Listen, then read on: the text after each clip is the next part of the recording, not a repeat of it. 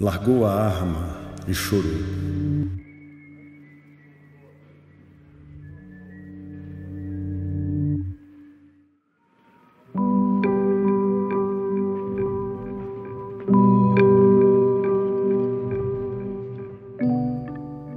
Os dias passavam como se a terra não se movesse.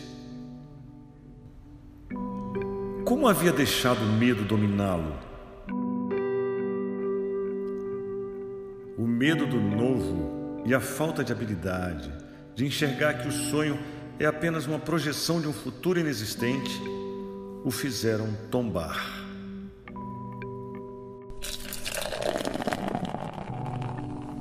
Não vê que se estou só é porque assim quero estar? As noites se alternavam entre a bebida, o sexo e o sono profundo.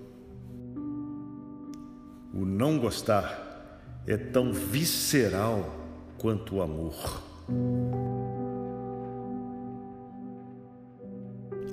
Um homem bom morrera no cumprimento do dever. Todos continuariam suas vidas normalmente.